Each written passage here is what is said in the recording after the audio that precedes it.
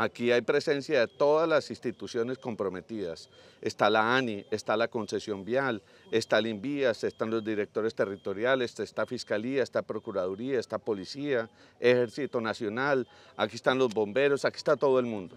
Y es pues eh, también muy importante destacar que hemos traído por parte de la ANI a eh, expertos técnicos de la Sociedad Colombiana de Ingenieros que además son una eh, entidad muy responsable y seria, que cuando viene a hacer análisis lo hace con toda la objetividad. Aquí no le vamos a mentir cuando conozcamos los resultados a los colombianos, a los bayunos y a los indianos, qué es lo que pasó, pero tampoco uno puede salir a hacer eh, juicios de valor y a decir es que el responsable es la concesionaria o que el responsable fue un grupo al margen de la ley o es que aquí hubo choques entre dos vehículos, no.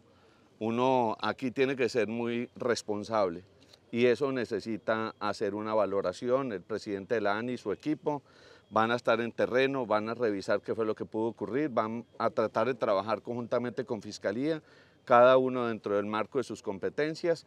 Eso es lo primero.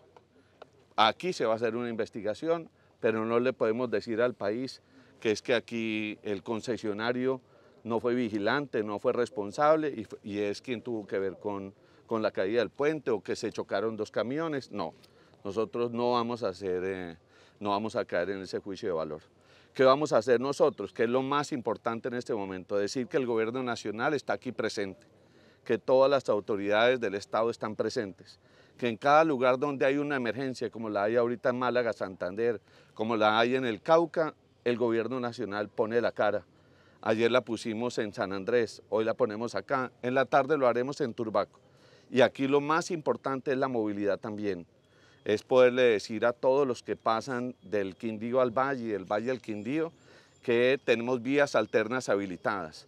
Ya tenemos dos hasta ahora, que no significa que hayan otras, como lo han señalado los alcaldes de Sevilla y Caicedonia, Vamos a hacer una comisión que revise esas dos opciones de vías alternas, pero ya hay dos vías alternas para vehículos, unos de carga pesada y otros de carga liviana y vehículos particulares, para que quede claro, la vía que hace La Paila, Cartago, Pereira, Armenia, Calarcá, es la vía que estará habilitada para vehículos pesados.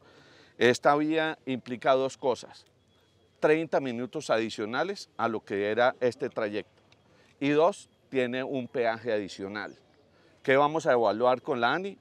La posibilidad y el concesionario de que mientras se recupera esta estructura con un puente, del que ya vamos a hablar y le voy a dar la palabra al, presidente de la ANI, lo ponemos en servicio. Nosotros tenemos la posibilidad de suspender temporalmente el cobro si esa es la evaluación a la que se llega.